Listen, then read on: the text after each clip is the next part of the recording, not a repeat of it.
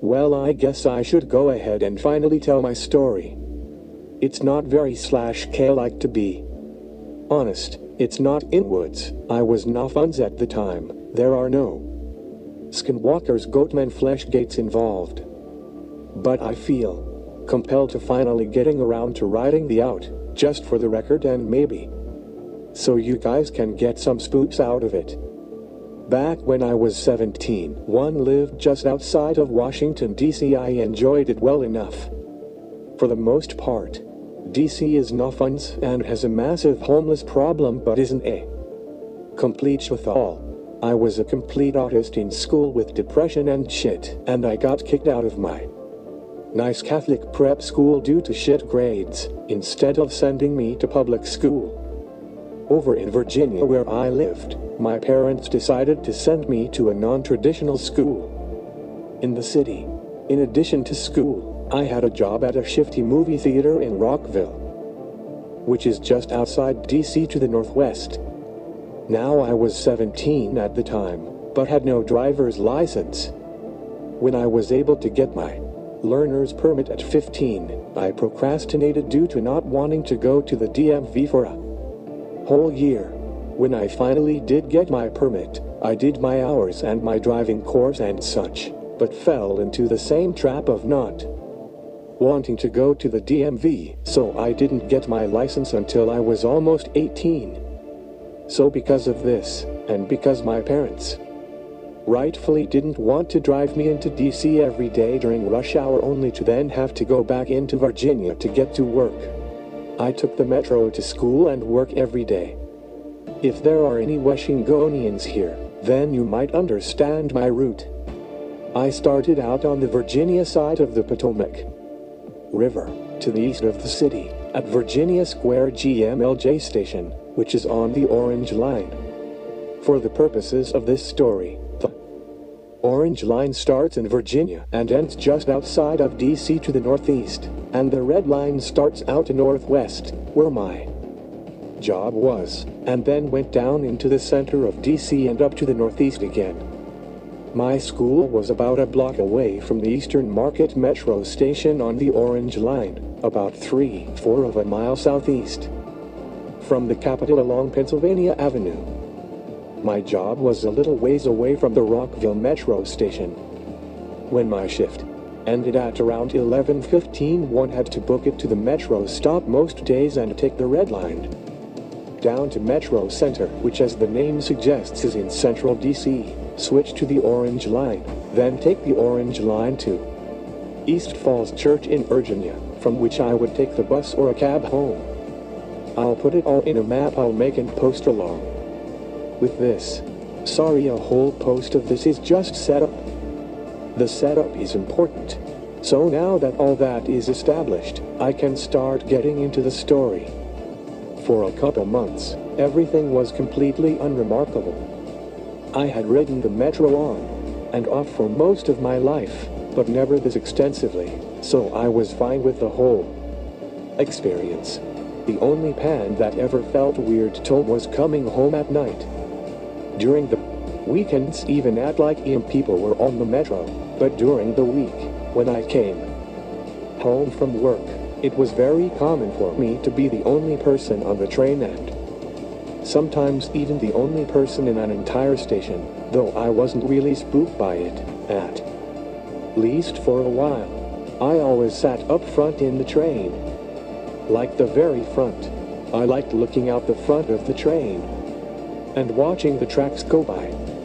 I had loved doing this as a kid, and I still did because I was a child even at 17. One night I was riding the red line back from Rockville to Metro Center. I was the only person in the car, probably in the train. I caught the last train before the system closed. I was looking out the front of the train like usual when I saw something weird. It looked like a white branch like birch or something. It was thin, almost spindly.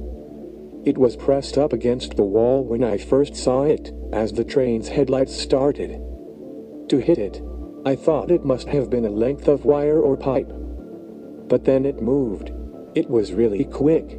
Not even like quick, it just suddenly moved out of the edge of the headlights of the train and I couldn't see it anymore. I wrote it off in my head as being overmarked, as cliche as that is. After all, tending to a popcorn machine on a pretty much empty movie theater is hard work. I pretty much forgot about the incident over the course of the week due to school and such occupying my mind. And then about a week later I saw it again, in about the same place on the line. This time, it was on the opposite end of the tunnel, and I got to see a little more of the thing before it moved away. It was connected to something bigger, like a leg. Connected to a body, which is what I immediately conjured up in my mind. As the train's headlights hit it, it moved away with the same agility, but this time, about 10 seconds later, I saw it again, and it did the same thing. And then a few days later it happened again. This time all I saw was what looked like a foot before whatever it was scampered off into the darkness. At this point I was freaking the fuck out. I felt that terrible, deep-seated desire to know more start to grow. I started to be vigilant for the weird leg anytime I was on my way home from work. I would see it more and more often over time. Sometimes I would see a little more than the leg. Sometimes I would even see T, of the legs, but it would always scamper into the darkness as soon as the light from the train hit. It. Sometimes I would see it a few times during one ride, sometimes not. I started trying to record whatever it was. I would take a notepad with me and record viewing which stops I would see it, how much of it I saw, and if I saw it. Repeatedly. At one point it occurred to me to ask the train operator if he saw anything, so. One night after I got off at East Falls Church, I quickly asked the operator up front if he ever saw anything weird when he drove the trains at night. I tried not to be a spurg about it, but he seemed on edge when I asked him even though he replied, with a simple nah. Things continued like this for a while, and seeing the thing almost became part of my routine of getting home. I wasn't scared of it anymore, not really since I was in a fast-moving metal missile and the thing never seemed to be hostile or anything. Things just continued to go about the same path. Until one night shit got fucking real. I was riding on the train, and I was waiting for the leg to show up. But it didn't. I had seen it every day for the past two weeks, but there was nothing tonight. I was thinking to myself something along the lines of being sad that the two-week streak was coming to a close when I saw them. Two glints in the darkness. My eyes at this point had gotten so used to spotting things in the darkness due to months of spotting this thing in addition to years of playing Twitch shooters, so I saw them there and I knew they weren't normal, but I still tried to rationalize it, even after months of spotting a leg in the metro tunnels. But then they blinked. It was unmistakable that it was a blink that had occurred. I jumped so hard I nearly pulled a muscle in my leg. I could tell that. Those eyes I saw were entirely black. Black and beady, like the eyes of a rat. Suddenly my fear for the thing in the dark was renewed. I was on edge for the rest of the ride to Metro Center. Though I still felt safe inside the train, I was realizing the gravity of the situation. There was something in the dark of the tunnels of the metro, and it had taken enough of an interest in me to show up. Almost daily, that thought followed me to Metro Center. Ironically, I felt safer in the station than I did on the train due to the simple fact I had never seen anything weird in the stations. I got to Metro Center, got off the train, and waited for my next train. It was then I started hearing it.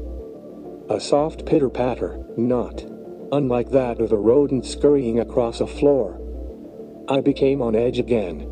The noise started getting louder and I started to shit myself more.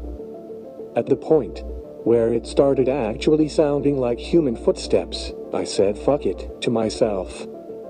and turned around towards the tunnel where my train had come from. I shouldn't have. It was there. Not just a leg or eyes. The thing in its entirety, and it wasn't in the tunnel anymore. It was on the platform with me. That thing is something I will never forget. It was like a person, but warped to the point where almost all traces of humanity were gone. It was thin, horribly thin, emaciated. I could see how its pallid gray flesh wrapped around its bones, not even covering the holes in some of its leg and arm bones. It was hunched over, not on all fours, but hunched over like an elderly person, with its legs crumpled down and its arms held in front of its chest like how a prairie dog holds its arms when it stands up. Its head was completely hairless and was hung down so I couldn't make out its face. I opened my mouth to scream but I just whimpered like a baby. I shouldn't have done that. I think I provoked it. It started to move towards me with a horrible gait. It stayed in its hunched over position, low to the ground, but its legs extended out and it took long strides forward, like crouch walking. Its legs wobbled and twitched with each step towards me. It was obvious this thing wasn't used to walking like this, that it was better suited to crawling along the walls. As it came closer, I started to smell it. It had that pungent, rancid odor of trash in the city. My eyes started to water as it got closer. Speaking of which it was closing the gap fast. When I first turned around there must have been about 150 feet between us. But within five or six steps it was only about half that distance away. My stupid brain finally kicked in and put me into survival mode, and I fucking booked across the platform. My stupid idea was to try and outrun it to the end of the platform, then jump across the tracks to the other platform and keep running out towards the surface. My plan got about one four done when I realized it wasn't going to work, because that's when the thing stretched out. I looked over my shoulder and shit myself again. The thing was now standing on its legs, and it had its arms out. I don't know how I only managed to see as much as I did in the tunnel, but what I saw in there wasn't accurately representing the whole thing. It must have been 15 feet tall at least. Its torso was thinner than its femur. Its arms came down to its shins as it let them drag along. And then there was its face. Its face looked like that of a starving man, with sallow skin tightly wrapping its cheekbones like a corset. Its eye sockets were far too big for its beady little eyes, with the top of the socket jutting out a good TW or inches beyond where the eye ended. And the mouth was a gaping hole with no jaw to be seen. This thing had reached its full height, and I had just about made my peace with death when some beautiful motherfucker honked the horn on his train that was coming in downstairs to signify to no one that no one could get on. I don't why, but that horn caused the monstrosity in front of me to reel backwards and let out the most horrible sound I've ever heard before going down on all fours and scuttling back into the tunnel. I took a cab home that night, and then pretty much every night for the rest of the year. I haven't gone on the metro there since. I've moved farther into Virginia, so I haven't been around Washington, but even if I was back there. I wouldn't take the metro again if it meant losing $10 billion or whatever. I did some more research. Apparently there are urban myths of something in the tunnels down there. I also found out about a series of abandoned tunnels just under DuPont Circle, the metro stop nearest to which I commonly saw the thing. That's pretty much it. Here's a map of where I saw the thing with stations where I was near and I saw it marked and areas to avoid marked